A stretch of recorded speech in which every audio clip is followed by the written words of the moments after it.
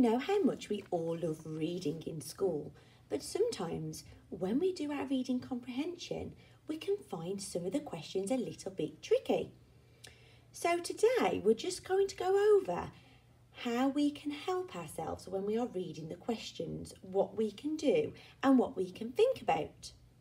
So we know that our questions normally start with a question word. So let's just go over what those question words mean. So we may have a who question, okay? If we have a who question, we know we are looking in the text maybe for a person, a character, or an animal. We also may have a when character, a when question word. If we have a when question, we know we are looking for maybe a day, a month, or a time of the day.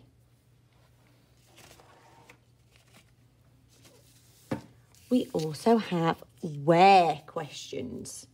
Okay, where questions, we know we are looking for a place to be our answer. We may have a what question. A what question is where we may need to find an object or an event from the text. We may have a why question. Now, our why questions can be a little bit tricky. It might be where we need to explain our own thoughts. We may start a why answer with the word because. And we may have a how question. This is where we will have to give a reason for our answer. Okay. So, thinking about all of these question words, let's have a little go at a reading comprehension text together. Okay? So I'm going to put my sheet to the side so I can keep looking back at it to help me. Okay. So this text is called The Queen's Elephant. So always when we have a reading comprehension, it's really important not to go straight to the questions, but to actually read the text first. So I'm going to get my finger and I'm going to read the text. People, oh, let's read the title first. The Queen's Elephant. People say that the Queen has a big elephant in her garden. The elephant sleeps in the shed and eats cream buns. She has never been seen outside of the garden, but lots of people think that it is true. I think that the Queen likes to ride her elephant at night.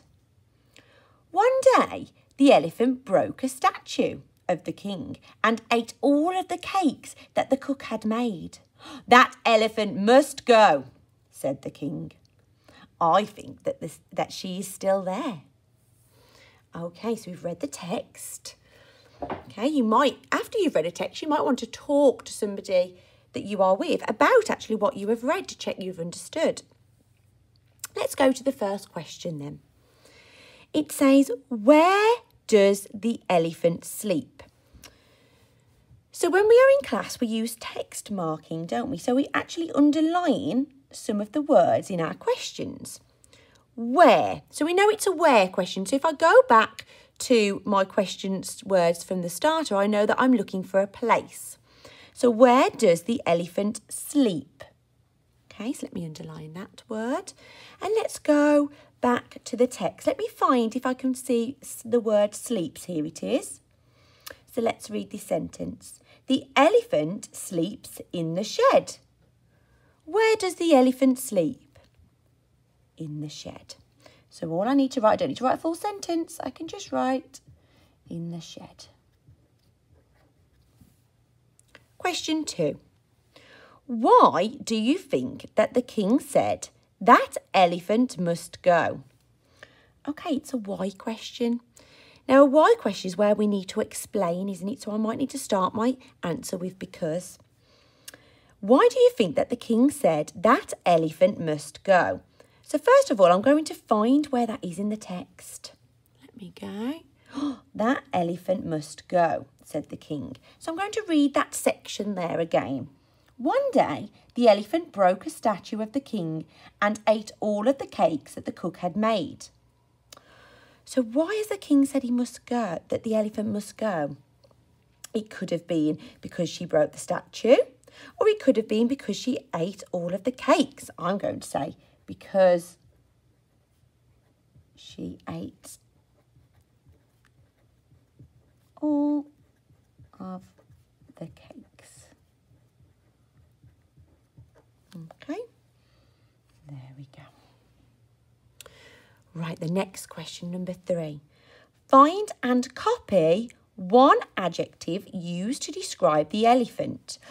Now, these find and copy questions we have a lot in year two, don't we? Okay, find and copy one adjective used to describe the elephant. So, first of all, I need to remember what is an adjective. I know that an adjective is a word that is used to describe. Okay, so I'm going to go back to describe a noun. So I'm going to go and see if I can find elephant. there we go. People say that the Queen has a big elephant in her garden. So which word is the adjective? There it is, big. And all it says is find and copy one adjective.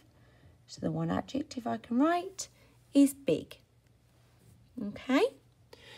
So what you can do now is in your work pack, you have a reading comprehension to do. So you will need to follow all the steps that I have just done. So you need to read the text first, then go on to your questions, underline your question word, what is it asking you to do, underline your keywords, and then find them in the text. Remember, underlining can really help you. Okay.